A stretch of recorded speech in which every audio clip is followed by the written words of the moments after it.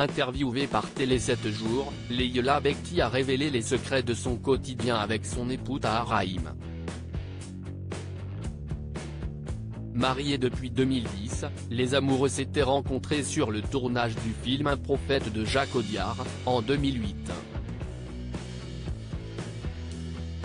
Parents de trois enfants, Souleyman né en 2017, une petite fille dont la date de naissance est inconnue et un troisième enfant né en 2021 dont on ignore le sexe, l'actrice de la série Le Flambeau a confié être totalement complémentaire de son époux dans l'éducation de leurs trois bambins. Ce qui est formidable, si Esti que Tahar et moi, nous nous comprenons, car nous faisons le même métier. Quand l'un des deux n'est pas là, l'autre gère.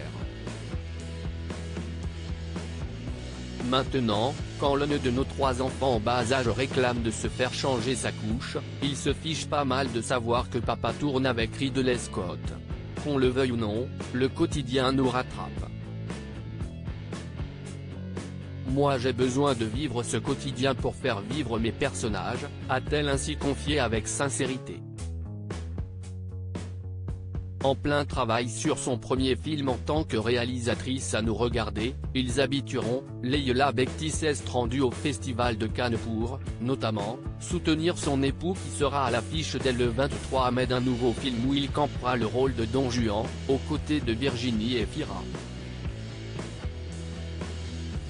Ce long métrage a d'ailleurs été présenté dans la sélection Cannes première.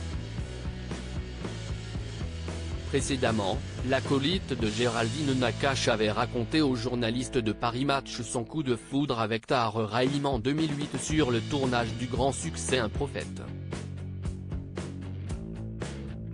Je suis arrivé à la fin, pour 4 jours seulement. Tahar a compris que je stressais, et il a été super bienveillant avec moi. J'ai bien remarqué qu'on ne se laissait pas indifférent, mais nous n'avions pas la tête à ça. Nous avons pris notre temps, comme si nous voulions entamer patiemment une belle relation qui serait l'ultime, s'était-elle souvenue. Depuis, le couple est sur un petit nuage et la jalousie n'a pas de place entre eux. Retrouvez l'intégralité de l'interview de Leila Bekti dans le magazine Télé 7 jours, en vente à partir du lundi 23 mai 2022.